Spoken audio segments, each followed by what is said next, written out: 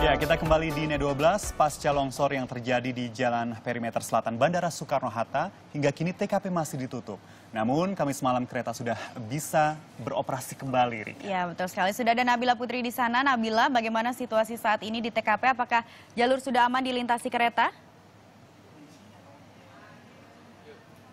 Betul sekali Tommy dan juga Rika. Sejak Kamis malam kemarin memang kereta Bandara Soekarno-Hatta sudah kembali melintasi uh, titik longsor terjadi di perimeter selatan tepatnya di kilometer 8 Bandara Soekarno-Hatta ini sendiri. Sudah boleh melintasi uh, dekat dengan titik longsor ini karena memang sudah dinyatakan aman setelah kemarin sudah dilakukan uji coba baik dari tim teknisi dari PT Kereta Api Indonesia dan juga menggandeng beberapa konsultan independen untuk menguji titik lintasan tersebut. Dinyatakan aman, kemarin juga sudah dilakukan uji cobanya menggunakan uh, lokomotif tanpa penumpang.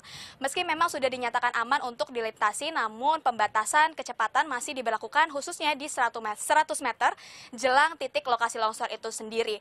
Meskipun memang dilakukan pembatasan eh, kecepatan, namun dipastikan kalau hal ini tidak akan mengganggu waktu tempuh dari perjalanan kereta Bandara Soekarno-Hatta. Selain memang tidak akan mengganggu waktu tempuh, dipastikan juga kalau kereta Bandara Soekarno-Hatta akan beroperasi normal eh, dua arah, baik dari arah Bandara Soekarno-Hatta ke stasiun Sudirman Baru maupun dari arah sebaliknya dan juga jadwalnya akan tetap menggunakan jadwal yang berlaku tanpa adanya pengurangan jadwal dari pengoperasian kereta Bandara Soekarno-Hatta. Meski memang perjalanan kereta bisa dikatakan sudah mulai berjalan normal ya Tommy dan Rika, tapi akses di perimeter selatan ini masih tertutup untuk umum karena hingga hari ini saja evakuasi masih terus dilakukan. Hari ini ada tujuh alat berat yang diturunkan untuk membersihkan sisa-sisa tanah longsor dan juga uh, untuk membersihkan sisa-sisa beton yang masih tersisa di sekitar tempat kejadian perkara dan belum uh, diketahui pasti hingga kapankah akses jalan perimeter selatan ini akan ditutup untuk umum dan untuk sementara waktu, masyarakat yang biasa menggunakan akses ini akan dialihkan sementara melalui jalan perimeter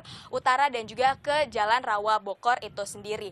Dan seperti diketahui, eh, longsor memang terjadi pada Senin petang lalu di eh, perimeter selatan Bandara Soekarno-Hatta ini dan sempat eh, menimbulkan korban dan juga Uh, satu di antaranya meninggal dunia atas nama Putri dan satu lainnya hingga saat ini masih dirawat intensif di Rumah Sakit Siloam Hospital Tangerang. Dan akibat dari kejadian longsor ini sempat mengganggu aktivitas kereta bandara. Kemarin beberapa hari uh, kereta berhenti dioperasikan karena dikhawatirkan jika kereta melintas kemarin dikhawatirkan ini akan menyebabkan memperparah uh, longsor ataupun membahayakan para penumpang. Namun hingga saat ini kereta sudah dinyatakan aman untuk kembali beroperasi. Demikian yang dapat disampaikan Tommy dan juga Rika. Iya, Nabila Putri dari area Bandara Soekarno-Hatta, Tangerang, Banten. Ini